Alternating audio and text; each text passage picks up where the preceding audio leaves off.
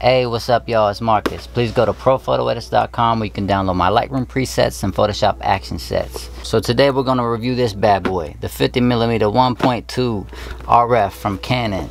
And I really love this lens, so let's get into this review and I'll give you my thoughts on it. Share a bunch of images like we always do about this time, baby. Alright guys, so let's get into this 51.2 RF review. And you can see right here, this is the RF 1.2. So I just went into Lightroom and selected everything that I shot with the uh, 51.2. And I'm going to go through some of my favorites with you guys. So please do me a favor and take a second, subscribe to the channel, turn your notifications on. I have videos coming every week. I take you behind the scenes on these cool photo shoots that I'm doing, cool video shoots that I'm doing, editing photos, editing videos, all the fun stuff. Alright guys, so I'm going to take you through some of these images, some of my favorites. All I did was go into Lightroom and I go into 50 RF 1.2 Let's click on that so to give me all my 50 uh, RF 1.2 files and I'm just going to browse through a bunch of these with you guys and show you so you can get it in a bunch of different scenarios how it looks and what I really love about it. So on this shoot we were up on top of a mountain and we were doing a, uh, shoot for a publication with a uh, dress that was made by a local designer that was really awesome and um, right here you can see that the flare. I just wanted to show you this shot because, let me take the preset off. This is straight out of camera. It was a little bit boring. I don't like all those greens, so I put one of my presets on there to give it more like a uh, faded look a little bit and um, dilute some of those colors a bit. And right here you can see, you see that line of flare coming from the sun? That's nothing I added, that's just in there. This thing flares out so beautifully and I'll show you that as we go along. And one of the reasons I like this lens so much is because it is pretty organic. I mean, I can see I can see a little bit of chromatic aberration right there, but I don't care. Um, I mean, that's nothing. We got these published, and there was no issues with that at all. Now, as we get rolling here, I'm starting to take um, real shots here because the light's getting a little bit lower, and it's kind of cool. So I think we got a little bit of a light behind the cloud on this shot, and I started snapping with the 50, and I stopped it down to 1.4 here, have no reason why um, I did that. I probably just did it by mistake, but it doesn't matter. It didn't really change the look of the image too much. So I'll give you guys some backgrounds on these shots before we get into the published shots. I'm just pulling some of the material towards the camera. We're trying out different stuff, different techniques to give it more like a 3D look. And I put some of my presets on this from the Sunkist preset pack. And we're bouncing the light back as far as lighting goes with the reflector right there, camera right. And the light's just directly behind her head. So here's another one of my favorite shots from the day. As you can see, I'm pulling off to the right of the lens, uh, part of the dress out, and um, the sun's getting a little bit lower. And you can still see the hills back there going out of focus. You're getting the, uh, the sky. The rock here is kind of swirling out. So you have like 15, 20 minutes when you're trying to do a sunset shoot. So I was just messing around with the strobe. We were taking some strobe shots and we got this shot and uh, it's kind of epic because she looks like she's like uh, Statue of Liberty right there doing her cool ballet pose. And I got to an angle where I could get the trees out of the shot, and the 50 played very well for this because I you got to see the whole valley, and you got to see where we're at. 85 would have kind of washed that away. 35 wouldn't have been uh, shallow enough depth of field. But looking at some of these shots where we're just using the reflector, because you know the reflector is kind of like my main thing. I don't like the strobe too much unless it calls for it. And I think that um, this type of shot, you just need to get these lens flares like you're looking at right here on the 50 and um, really let it be a natural type of shot. And you can see the fall off there. It's nice and soft. It's got a little bit of swirl to it. Really painterly. Um, give you just enough depth of field that we can see the mountains in the background. 85 would have washed that away and compressed it way out of the shot. 35 probably wouldn't have been shallow. So the lens doesn't have any harsh light leaks. Look at that light in her hair. It's nice and warm, nice and even. There's no rough edges or any uh, sun star looking things like the 35 L2 has and you can see the flare at the bottom of this. It's nice and round. Um, the light's beautiful on this shot. You can still make out the background.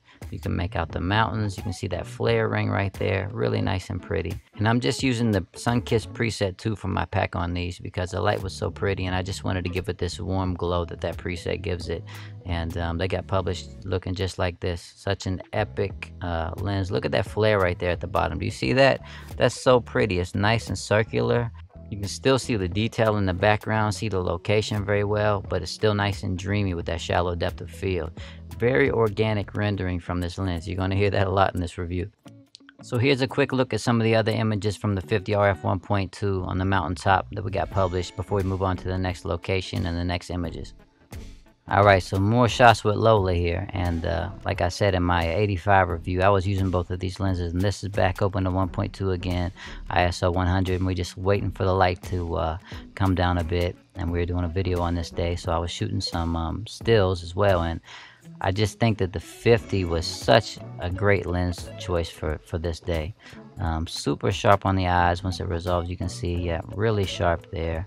Really nice fall off. I'll pull the grain down on my preset here. Let me zoom out and I'll show you straight out of camera. Really boring. The colors were really hideous on that day, but it didn't matter. I put a preset on there and brought it back to life. So stepping back a bit here so you can see how it looks just with a, a half body shot. Um, really nice detail in the windows, not overwhelming. She's still popping off of the background. And I'll show you one, one thing that it has here is, I don't know if you can see that purple fringe there, but it does have some chromatic aberrations. More than more than the 85 RF for sure. The 85 RF has basically none. Um, but this one lens does have, and that's some of the trade-off I think of them not putting the refractive element in there. But I don't care. With one click, that is gone, and um, it really does have a lot of character. You can see as we get closer here, shooting in portrait orientation, super shallow depth of field, still at 1.2. Eye is incredibly sharp there. Now check this out. This is just a file that's not edited at all. Haven't got to that yet. You can see this hair. It's actually starting over here, of course, because it's blowing in the wind. Um, you can see how shallow the depth of field and how the fall off is. That hair is in focus. It's on the focal plane. As it gets to the lip over here and starts to go out of focus, you can't even find it anymore. Um, super nice fall off there. Uh, windows, enough to show context of where she's at. Um, skin is nice and soft, just have to touch up a few things there and this image will be great. A shot I took when I was sitting in the uh, driver's side of the car because I was just running through a bunch of shots before we were shooting the video and even during I just pick up my EOS R and uh, started shooting stills while I was shooting the video with the 1DX Mark II and um, preset on there you can tell how sharp it is and just uh, painterly in the background. Really nice organic fall off. Look at the hand over there. The hand is super out of focus. Um, just a nice dreamy lens. So here's a shot and um, in my 85 review I did the same shot with the 85 and I'll put it up on the screen for you guys so you can tell the difference between the 51.2 and the 85. Now the 50 what I like about it is it gives you a lot more context like I wouldn't have to explain to you what's going on back here like I did on the 85 and it's still nice and organic. Spray paint on the wall you can make out of this like a like a junkyard barn type of deal. Um, you can see Cliffy's Cobra back there behind her the gravel lot. You can make out a lot more detail but it's still very pleasing to look at. Nice painterly bokeh. At 1.2 I don't know how you can ask for more. Super sharp nice bokeh. A lot of character for something being so sharp Alright, let me show you guys where this lens shines as far as like the bokeh. It almost looks like a painting right here. Check this out. It got the swirl stuff going on down here, but as you zoom in here and look at this foliage back here, look how soft that is. And it bleeds into the busier background here with the um, antenna coming off the roof of this uh, tin building back here. And um, it definitely looks like a painting to me. You can see that just straight out of camera boring colors. I put a preset on there and it almost made it look like a, a watercolor painting. I have to fix this red back here in, in post because I'm not a big fan of red, you know that. Um, but I don't know. I've never had a 50 that had this much character and this sharp before. Super impressed with that. So can you take close-up portraits with it? Sure, you can. Um, but you can see this pulling the facial features out a little bit. Um, it's elongating the nose and just pulling it towards the camera a little bit, but it still has nice shallow fall off. You can see that back shoulder is gone. The eye is super crispy and sharp. Skin is still nice and soft because it's not an overly corrected lens. So I was just rattling off a bunch of shots here, uh, trying to get the hair flip thing, and I, I was in too close, but we were losing light. I didn't want to waste a bunch of time, so um, I got a bunch of them, and it was super accurate. I'm not going to show you all the shots, but that's where we ended up. Super pretty shot. So some of my favorite shots were done at night with this lens. And uh, we shot this right before we were shooting some more of the video parts, and it was like almost dark almost dark you still had a little bit of light where I could pull this out and I'll show you how I did it with the preset in a second but look how this flares the um, the headlight is shooting up this way it's coming it's flaring out the boot um, it's leaving this ring on this side from this headlight over here that's cropped out. Um, it's giving you this little green reflection there which is pretty just another thing to look at it's not harsh in any way. Um, you can still make out that these are garage doors and this is like an old um, building but she's still the star of the show with this uh, 50 to give you a little bit more context here I took this with Sun at the um, the boudoir shoot we were doing and I didn't use a bunch of the images from the 85 or the 50 in this just because the 35 was the the lens I was using this this room was pretty small here so I wanted to use the 35 as much as I could but you can see you know the bookshelves back here the bedpost this lamp I could use this lens for some boudoir and not um, think that it was too sharp All right, so you guys know that I always keep it honest with you guys. I don't ever try to pull your leg. Um, I'm here to try to help you be a, a better photographer as well as learn myself. But um, I wanted to show you just how nice the colors are with this 50 and uh, how organic it is. Now back on top of this parking deck that I use sometimes because you don't really have to be close to anybody and you have a nice sunset. You can see, getting nice context from the buildings. You're seeing this cool little flare of whatever that is coming here on the side. Straight out of camera. It's pretty boring, but you know, you get my preset packing it to help you out there. Now it's nice and punchy. The reds are really punchy. And um, all I did was take it into Photoshop and um, fix the skin, take the hair off the face and stuff like that. Uh, nothing else really with the colors, but some lenses that you'll shoot won't really be that warm when the uh, when the sun flares. It'll kind of just wash it out a little bit. But uh, this lens still retains a lot of that character in the color, which I really love again here on top of the uh, the buildings and you can see 50 was perfect for this shot you can still make out that it's a cityscape the sky is there and I shot this a little bit underexposed put the presets uh, my preset and then fix the skin but you can tell that back here um, really nice warm color cast coming into the uh, the hair from the uh, the sun and the backlight super cool and I mean it helps that she has on a, a, red jacket just to pull her off the background a little bit but um, that's something you got to think about when you're, you're choosing wardrobes. But anyway, I mean, just the lens was like the perfect choice for this. And I didn't really know that I'd fall in love with 50 the way I have, just because normally I'm 35, 85, but um, 50 definitely have, has its place here, um, especially for doing fashion photography. So now let's go into the studio, and uh, this day we were doing like a Valentine's Day shoot, and this is an unedited image. Um, straight out of camera right there and all I did was put a preset on and cropped it um, just to give it more of like a, a red hue here and uh, bring the colors into my little mocha mocha palette that I like to use a lot but um, you can tell here on the eyes once it resolves there really sharp and that's at 1.2 for sure yep and then you can tell that the fall off is nice um, nice and organic it's not quite as soft fall off as the 85 1.2 but um, I didn't want that for that.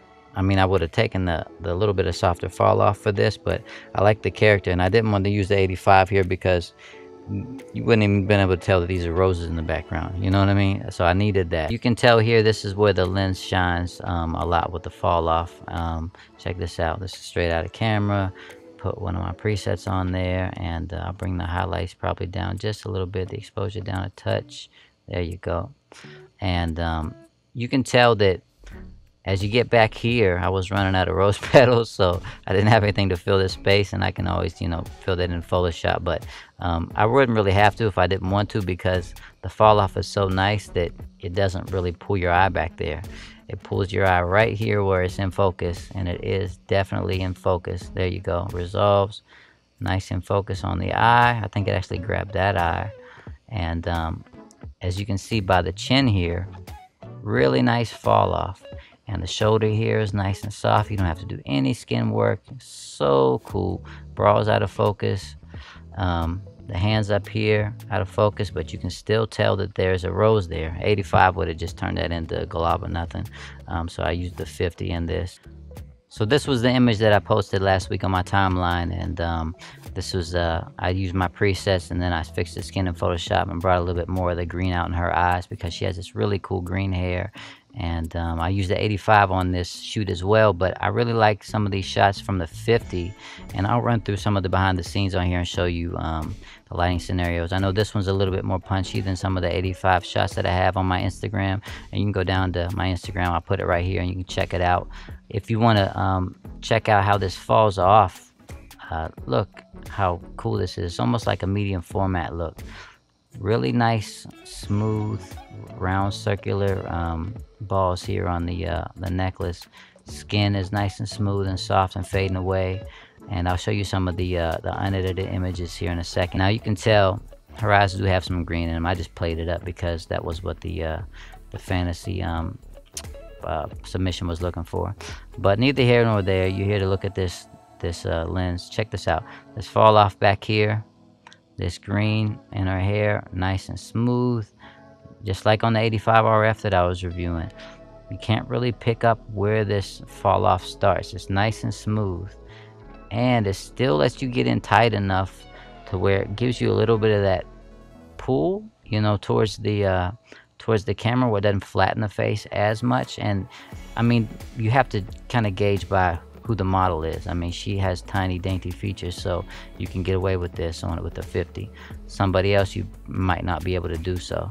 Um, you just kind of have to know what you're doing. But if I just reset it, you can see I lit this a little bit of a harsher, more poppy um, type of light, and I was using the beauty dish with the 8600, and I had a grid inside the beauty dish, and then the sock on top of that and um, I didn't have any lighting going on in the background as you can see and I did it several different things that I'll show you different lighting wise and uh, put one of my presets on there it pulled the blacks up it pulled the colors and made it more of a I would say a softer editorial type of look I love using that preset a lot for studio stuff now let's go back here to a different um, version with the 50 right here and I was doing a different um, I was just trying a bunch of different backgrounds like I have this I don't know what you call it. It's like a sequin throw, I guess. And I put it behind her just to give her a, lot of bokeh in the background, or bokeh balls, I should say, in the background. And you can buy these at like any fabric store for five or ten bucks for a roll. Um, I have a bunch of different backdrops that I use just to give different appearance to the look. But anyway, on the 51.2, wide open, let's go in here. File has not been messed with other than one of my um, presets. And you can see eyes are really sharp, super sharp, and the eyelash is already out of focus. That means it nailed the eyes. And um, some people, as I say, like to shoot these stop way down to f8. I don't, because I don't want to fix skin for a million years. And I like the medium format look. I like this is just what I what I grew up loving. Um, I don't want this to pull my focus away. I want it to look, you know, really nice and painterly back there, like something that um, you can't do with a cell phone or a point and shoot and the necklace is going out of focus here eyes are definitely in focus the hair is kind of fading away so just a really cool nice sharp lens but not so sharp that it's digital looking so we got pretty creative here and uh, we were just having some extra time on our hands. I pulled out a piece of plexiglass that I had, um, stuck it up on a, um, a light stand in the background and just hung it there. Spray some Windex on there, which is bubbly. I should, probably should have just used water, but we were in a time crunch. So quickly, final thoughts after owning this lens for a year. It's the best 50 I've ever shot. It has great flare. Um, it doesn't have any type of weird sun stars when it flares out. It has great contrast. It's not overly sharp and digital. It is super sharp, but it's not like a Sigma Art. I owned that lens for a while, the 51.4 Sigma Art, and it was just kind of okay to me. I've owned the a lens in the 51.4G from Nikon. That was terrible. It was super soft. Nice bokeh, but just too soft. Um, slow to focus. The 58 1.4G, on the other hand, had a really nice character to it, but it was really expensive and really soft close up and now that I'm shooting more Canon than anything else this 50 just uh, takes the cake from me. Alright y'all please like and subscribe. Hit your notification bell because I always have reviews coming up and I take you behind the scenes uh, show you how I got the shot show you how I shoot the video help you guys edit and a bunch of cool stuff. So let's build this community up and um, until next time it's Marcus. Love you guys